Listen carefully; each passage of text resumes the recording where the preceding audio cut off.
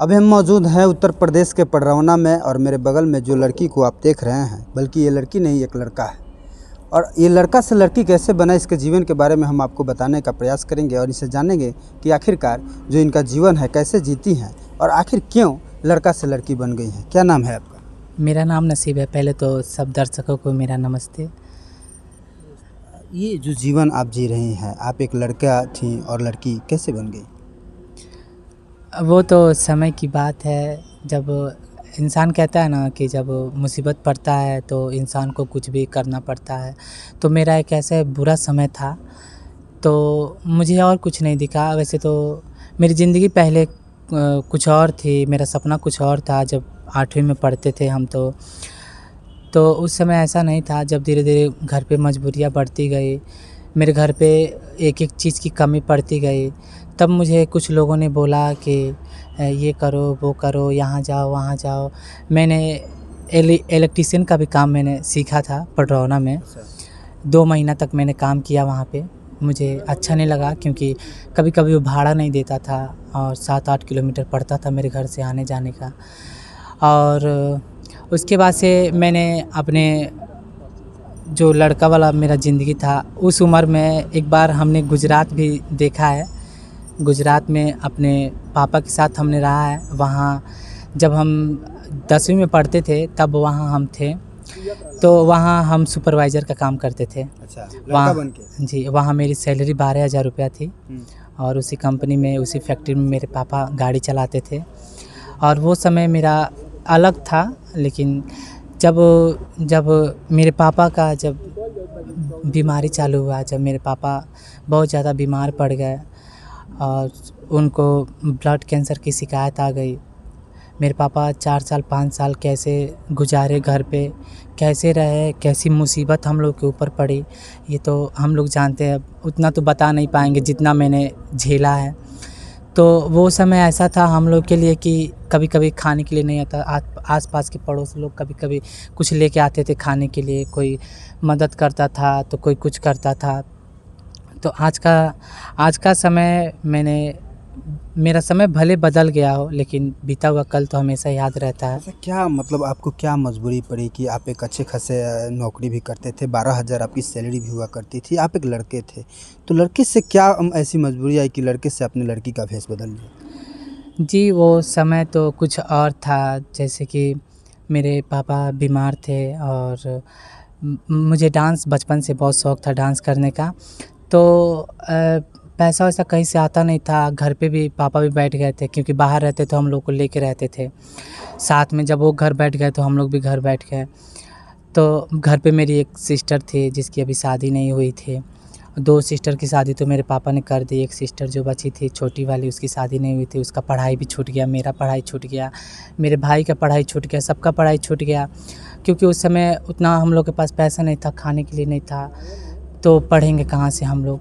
तो वो समय ऐसा था कि कुछ लोग मेरे से बोले डांस करते हो तो यहाँ जाके डांस करो वहाँ डांस करो पैसा मिलेगा। तो धीरे धीरे मैंने घर से पापा से मेरे पापा तो आ, कभी मुझे जाने नहीं देते थे। कि यहाँ जाओ, वहाँ जाओ, ये करो, वो करो। नहीं, कभी प्रेशर मेरे पापा नहीं डाले हैं कि जाओ, मेहनत का काम करो, ये करो, वो करो। लेकिन घर पे पैसे की वजह से हालात देख के, मजबूरी देख के मैंने कदम उठाया, झूठ बोल के जाते थे कि बर्थडे पार्टी में जा रहे हैं तो दोस्त के वहाँ जा रहे हैं तो ये है, वो है। और चुपके चुपके से हम किसी पार्टी में, नाच में, ड्रामा में ऐसे जाते थे डांस वांस करने के लिए हम। तो वहाँ सौ, दो सौ, तीन सौ रुपया मिलता था। एक ऐसा समय था कि मुझे पचास रुपये पे इंसान बुलाता था। तीन दिन काम करा, एक दिन पचास, सौ, डेढ़ सौ, ऐसे देता था। तो तो आने जाने में भाड़ा किराए में ख़त्म हो जाता था। मेरा बचता वहीं सौ, दो सौ रुपये था और सौ, दो सौ रुपये से हम लोग साग सब्ज़ी लाते थे। पापा को उसी में दवाई भी था। अब कैसे मैनेज किए वो तो समय जो बीत गया, वो तो समय बीत ही गया। चाहत एक बात मैं पूछना चाहूँगा। जब आप लड़का से ये लड़की वाला भेष अपनाई और आप डांस करने जाए तो अगल बगल के लोगों का क्या रिएक्शन था? अगल बगल के लोग तो जैसे कभी वो लोग मेरा सपोर्ट नहीं किए, सपोर्ट करने वाले तो सिर्फ़ मेरे घर वाले ही मुझे सपोर्ट किए और बाहरों का कहना था कि भाई इनका लड़का ये कर रहा है, वो कर, मेरे घर वालों को चढ़ाना, भड़काना, मेरे पापा से अशब्द बोलना। कभी कभी ऐसा होता था कि मेरे पापा कभी कभी गुस्सा हो जाते थे कि ये काम मत करो, वो मत करो, मेरी मम्मी कई बार बोली थी। लेकिन ऐसा कुछ नहीं, जब धीरे धीरे वो लोग जान गए कि चलो कुछ भी कर रहा है, घर चला रहा है, पापा को देख रहा है सब कुछ करने लगा। यहाँ तक कि धीरे धीरे काम करते करते छोटे भाई को पढ़ाना भी स्टार्ट कर दिए, अपनी बहन की शादी भी कर दिए और धीरे धीरे घर पे मेरे पापा की बीमारी में जितना कर्जा था, लमसम आठ लाख रुपया कर्जा था, वो मैंने धीरे धीरे इसी काम से मैंने चुकता भी कर दिया और आज किसी का भी कर्ज नहीं आपको है। लगता है कि आप डांस करके भी आपने आपको प्राउडफुल महसूस करते हैं? हाँ बहुत अच्छा लगता है मुझे डांस करना। डांस वैसे तो मेरे नज़र में गंदा नहीं है क्योंकि हम ऐसा करते नहीं हैं। और बाकी और लोग सोचते हैं वो अलग की बात है। लोग क्या सोचते हैं? लोग तो अपने बारे में भी सही नहीं सोचते हैं तो दूसरे के बारे में इंसान क्या सोचेंगे? हाँ? अच्छा चाहत एक, एक सवाल मेरा ये रहेगा कि ये खूबसूरती का राज क्या है? आप एक लड़का थे अभी तो ऐसा लगता है अगर कैमरा में कोई देखता होगा तो बिल्कुल एक हसीना की तरह आपका ये चेहरा है। इसके पीछे के कारण क्या है? इसके पीछे के कारण तो वैसे तो क्या बताएँ मतलब कैसे अपने अपने इस लड़की वाले सांचे में अपने आप को ढाल ली वो तो समय बदला हम बदल गए। बाकी और आप लोग देख ही रहे हैं मुझे।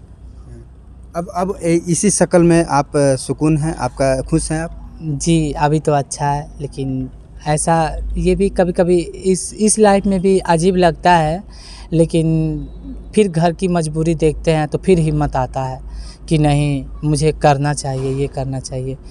फिर सोचते हैं कि फिर अपने आप को बदलें फिर ऐसा बदले तो अब तो जो बदल गया वो तो फिर बदल नहीं सकता है। अब लड़का वाला रूप नहीं लेना चाहते? नहीं अब अब इसी इसी रूप में हाँ, इसी रूप में। भले कोई एक्सेप्ट करे या ना करे वैसे तो धीरे धीरे रिलेशन वाले भी हमसे छूटते गए कोई जितने भी मेरी रिलेशन वाले अच्छा थे। क्या कहते थे? जब आप लड़के से इस लड़, लड़की वाला रूप जब लिए तो आपके जो रिलेशन के लोग वाले थे वो क्या कहते थे? आ कहते थे कि ऐसा काम कर रहा है बेइज्जती फील हो रहा है हम लोग नहीं आएँगे घर पे तो ये नहीं करेंगे कुछ लोग आते भी नहीं है मेरे घर पे जब तक आज मैं? आज भी जब तक मेरे पापा थे जब मेरे पापा कमाते थे, मेरे पापा के पास पैसा था तो मेरे रिलेशन वाले भी संबंध बनाए रखे थे।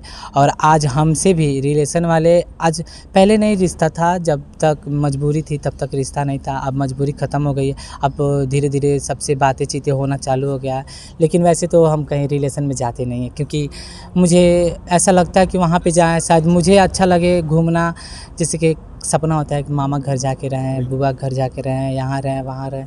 लेकिन ऐसा लगता है कि मुझे अच्छा लगे शायद उन लोगों को ना अच्छा लगे। इसी की वजह से हम नहीं कहीं जाते हैं। अच्छा आपसे एक, एक सवाल मेरा करना चाहेंगे। ये जो आप खूबसूरत हैं आप एक हसीना हैं खूबसूरत लड़की दिख रही हैं। तो इस हसीना का कोई दीवाना है?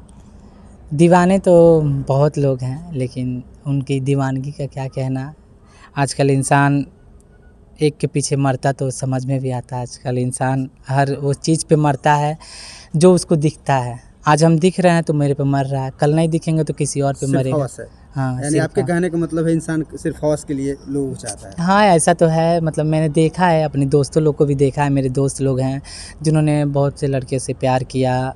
मतलब हर एक चीज़ अपना बर्बाद किया हर एक चीज़। फिर भी उन लोगों को धोखा मिला। तो हम ये सोचे हैं भाई जब हम देख रहे हैं खुद वो इंसान ठोकर खा रहा है तो मुझे क्या मतलब है उस कभी आपके मन में उमंग नहीं जगा कि हमारा भी कोई हम सफ़र नहीं ऐसा तो मैंने अपनी ज़िंदगी में कभी नहीं सोचा क्योंकि मैंने इतना प्यार अपने फैमिली वालों से किया है कि क्योंकि मुझे अब किसी का प्यार नहीं चाहिए। ये प्यार बाहर क्यों नहीं निकलता है? किसी लड़के के लिए क्यों नहीं ये प्यार? ऐसा कुछ नहीं क्योंकि जब मेरा बुरा समय था तो कोई मुझे नहीं जाना कोई पहचाना नहीं।